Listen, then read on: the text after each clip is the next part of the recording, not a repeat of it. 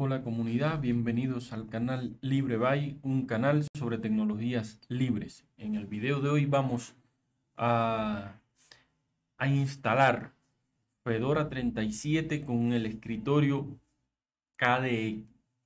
Vamos a ver, vamos a instalarlo en una máquina virtual y vamos a estar hablando sobre este escritorio, las aplicaciones que incluye. Y, vamos a ver, yo hace mucho tiempo eh, usé KDE unos meses. Me parece un escritorio elegante, un escritorio bonito. No obstante, siempre he usado Genome, quizás por, un tema de costumbre o quizás porque la mayoría de las aplicaciones que uso eh, están desarrolladas con GTK eh, en lugar de Qt. Para ello vamos al sitio de Fedora que es eh, getfedora.org y vamos, bueno, no es, no, no es precisamente eh, el proyecto Fedora. El proyecto Fedora está en fedoraproject.org. Va, puede ir a fedoraproject.org y lo manda a getfedora. Y dentro de getfedora, bueno, busca los, la parte que dice spins. Le damos aquí en los spins y aquí nos aparece todos los spins. Vamos a seleccionar KDE. Y le dicen, eh, le vamos a dar descargar, ya yo lo descargué para ir mucho más rápido. Y entonces vamos a crear nuestra máquina virtual. No, eh, nueva, en lugar de agregar, vamos a decir nueva máquina virtual. En videos anteriores vimos cómo crear máquinas virtuales eh, desde la interfaz de VirtualBox o desde la línea de comando. Aquí vamos a decir que es Fedora 37. Me completa automáticamente eh, las otras opciones. Le decimos cuál va a ser el tamaño de la memoria. Vamos a decirle que sea 8 GB. Aproximadamente. Creamos el disco duro.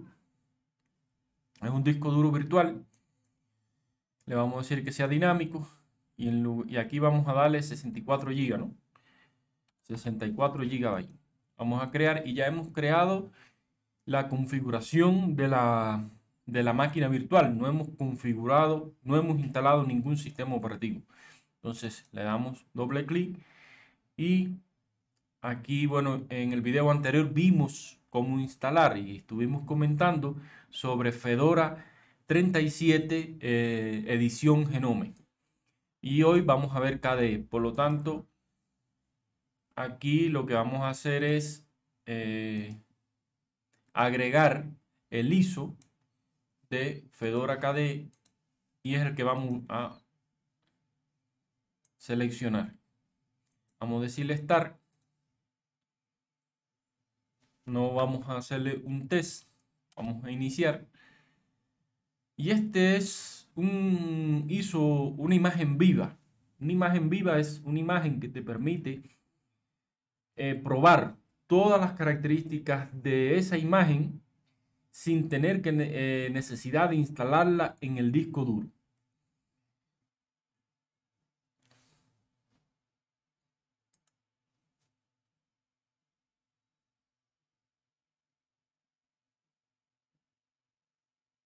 Como dije, hace mucho que no uso KDE, así que vamos a explorar ah, lo que se ve.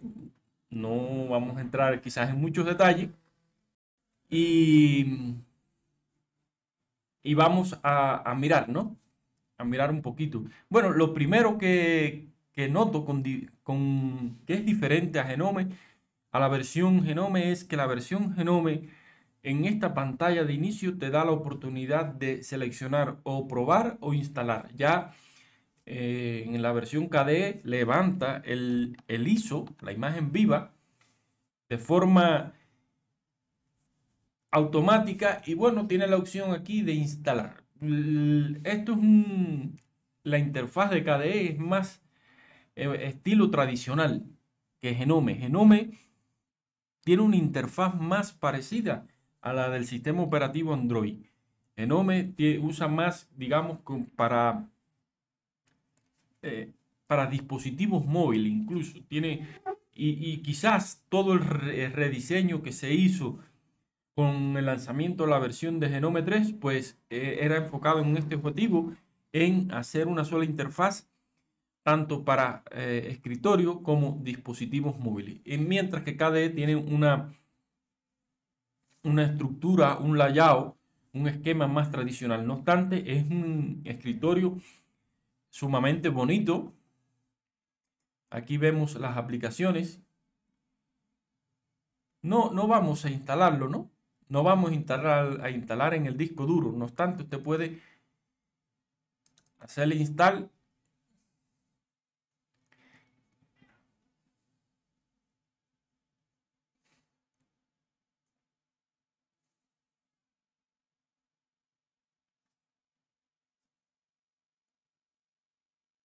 y le, lanza la, el proceso de instalación. Yo le voy a dar salir porque no lo vamos a instalar.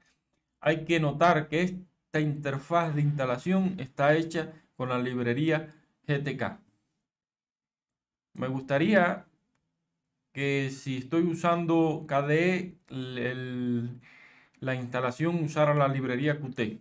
Pero bueno, vamos a salir de aquí Aquí vemos el menú de, aplicaciones, donde vemos todas las aplicaciones. Creo que por defecto la edición KDE usa muchas más aplicaciones por defecto. Bueno, en favorito tenemos lo que es el navegador. Incluye, Fedora incluye Firefox como el navegador por defecto para manejar los contactos, eh, las configuraciones del sistema.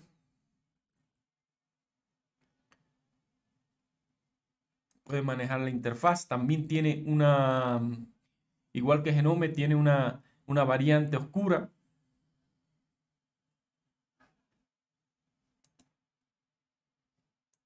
Muy bonito, ¿eh? Muy bonito. Muy bien, muy bonito los menús, muy bonito el estilo. Aquí estamos aplicando diferentes estilos. Vamos a ver la versión oscura.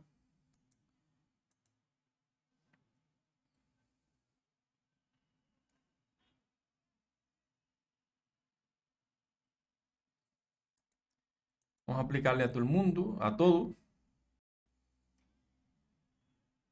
Y bueno, sí, muy, muy, todo muy, muy fluido en cuanto a a estilo se refiere y apariencia. Bueno, aquí puede personalizar todo lo que es el tema de la apariencia.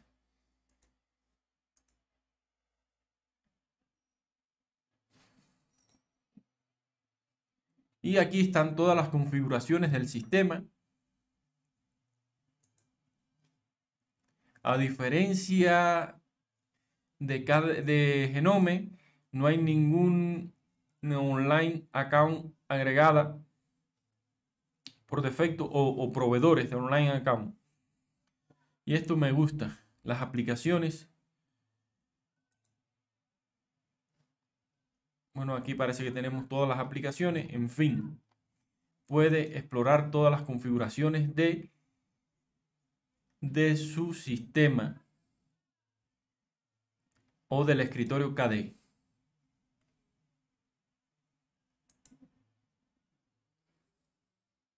Por 1080. Aquí, por supuesto, quizás incluso en, esto es una máquina virtual. Por lo tanto, la tarjeta gráfica es una tarjeta virtualizada. Y creo que por defecto VirtualBox le, le asigna 16 megas de memoria a esta tarjeta gráfica. Por lo tanto, incluso con esta tarjeta gráfica, que es muy básica, con poca memoria y se ve muy bien, se ve, se ve muy bien el escritorio. Bueno, aquí tenemos todo lo que es el tema de la red. Las notificaciones, incluso incluye un clipboard manager por defecto, a diferencia de Genome. Esto me gusta, lo del clipboard manager. Dispositivos atachados, volumen, muy bonito. El tema del volumen, para manejar el volumen. Está, eh, es un escritorio elegante, muy elegante. El Dolphin como administrador de ficheros.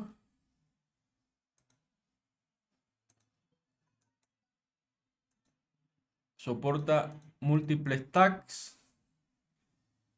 Eh, las, los iconos bien bonitos. Todo muy fluido. Muy fluido. Aquí este es el Software Center, que al igual que Genome, incluye una aplicación gráfica para administrar sus aplicaciones.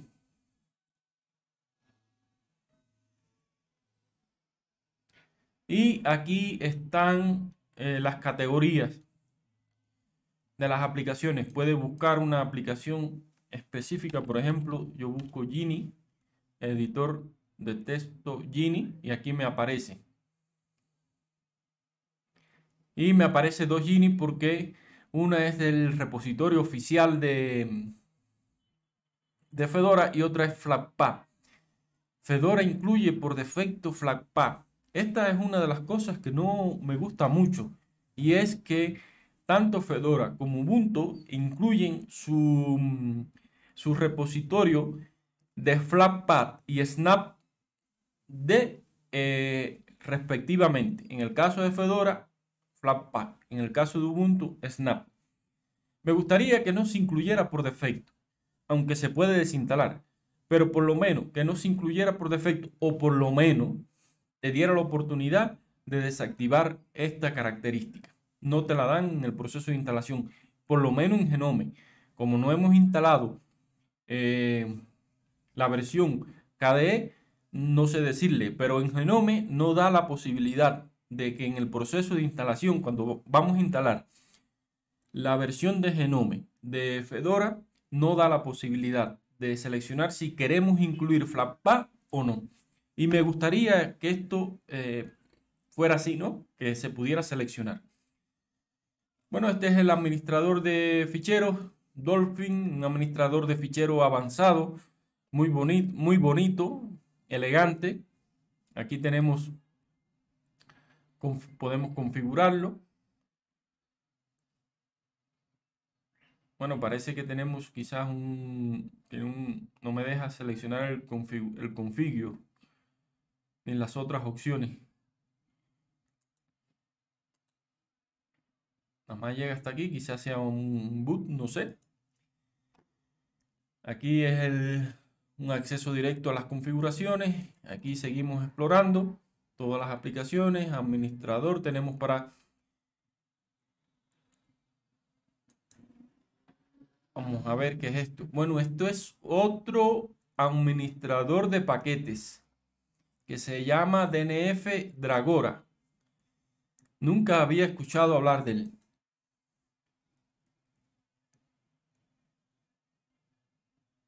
Nunca había escuchado hablar de él, pero parece que sí, que es un administrador de paquete.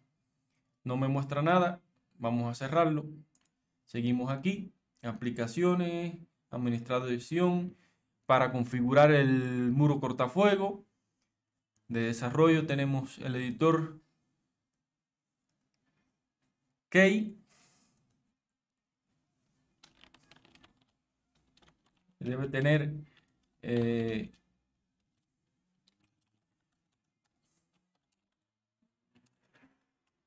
debe tener, mm, por supuesto, resaltado de sintaxis por defecto.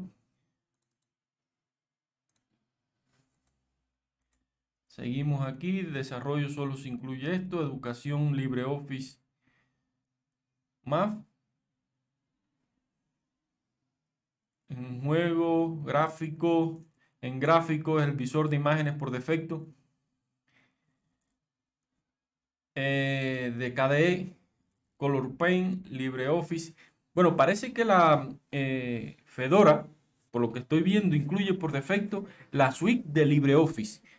KDE tiene una, una suite ofimática que se llama Calira, pero parece que no es lo suficientemente estable para incluirla dentro de la, de la imagen oficial KDE. de internet. Bueno, tenemos aquí un cliente de, de correo. Tenemos un cliente BNC, un cliente de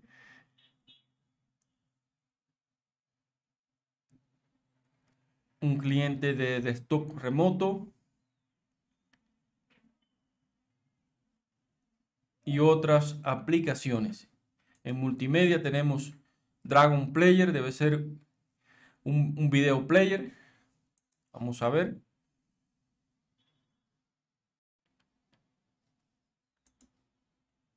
Elemental, pero no está mal. Vamos a ver el caso del, del reproductor de música.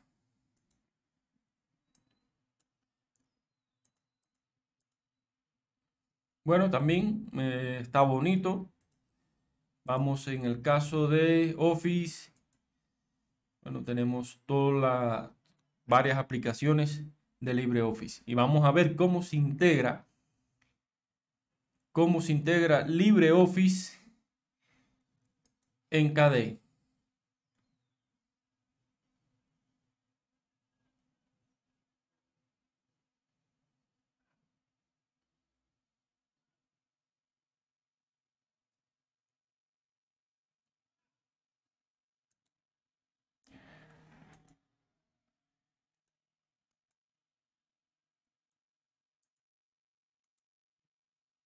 Bueno, parece que la, ah, la integración es bastante fluida.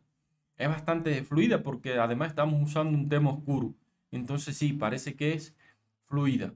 Seguimos por aquí. En el caso de Office, tenemos además el visor de documento oficial de KDE que se llama Ocular.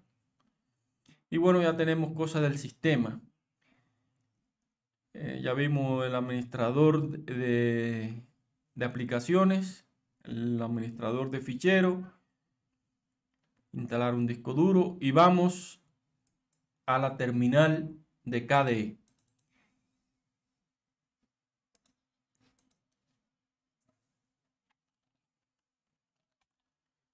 Aquí tenemos, hemos abierto eh, una pestaña adicional y no sé dónde metió la pestaña. Realmente no sé dónde metió la pestaña. Así que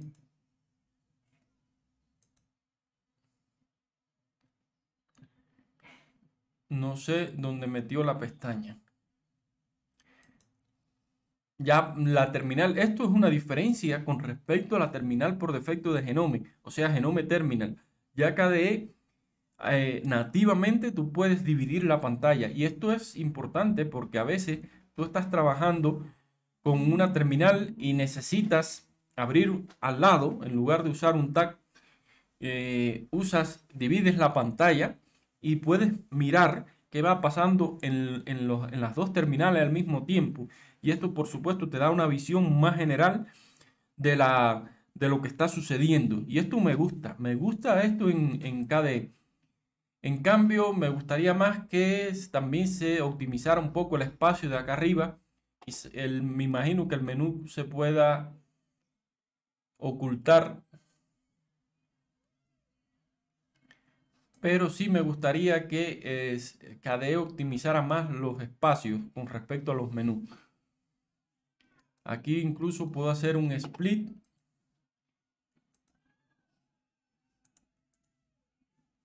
Muy, muy, muy bien este tema, ¿no? Aquí interesante, aquí me puedo, por ejemplo, si yo digo hello, dice que podemos instalar el paquete. Esto está muy bueno. Le decimos que sí. Porque me hace recomendaciones. Yo puedo usar un comando determinado y si no está, entonces eh, me va a solicitar que si lo puedo eh, eh, que si lo quiero instalar y esto me parece muy bueno. Muy bien integrado el, la terminal de KDE que se llama console en, y muy bonita además, ¿no? Y muy bonita además. Ahora solo me, me faltaría ver dónde están los tags.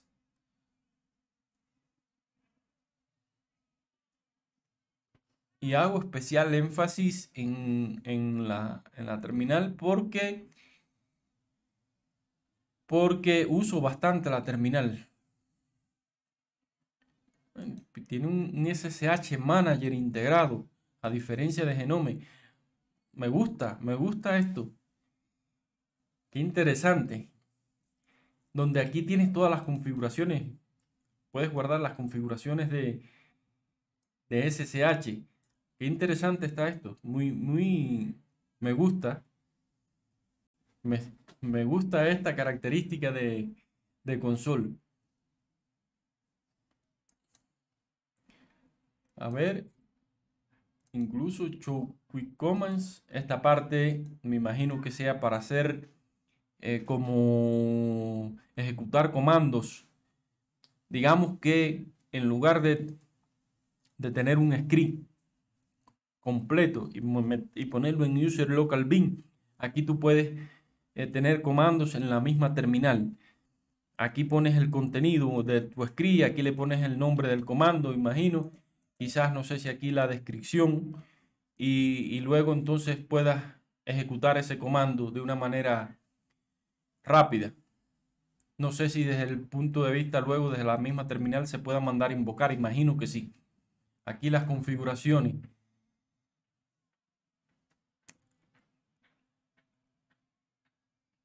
Aquí puedes configurar el toolbar. Manejar los profiles.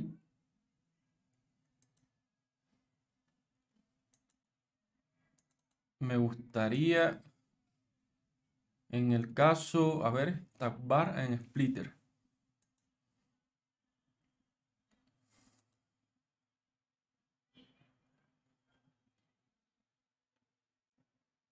Mm, pues le digo always y qué interesante, no es que no me estaba mostrando el tag, pero me parece que yo había creado un tag nuevo y no me estaba mostrando el tag porque solo hay un tab.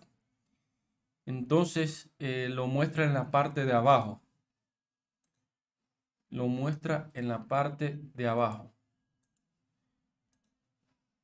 A ver, new tab. Exactamente. Ah, el problema es que cuando doy en, Genome, por ejemplo, para crear un, tag es Control Shift N en la terminal de Genome. Aquí vamos a ver si tiene el, no, no sé, realmente no sé el, el atajo. Habría que buscarlo en las configuraciones.